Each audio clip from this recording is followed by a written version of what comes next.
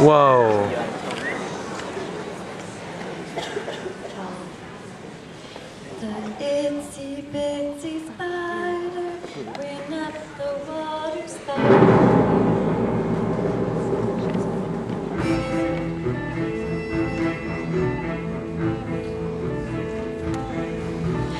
Sooner or later, you're certain to meet in the bedroom, the parlor, or even the street. There's no place on earth you're likely to miss her kiss.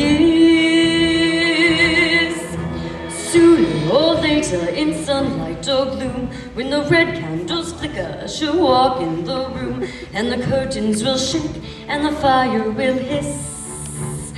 Here comes her kiss.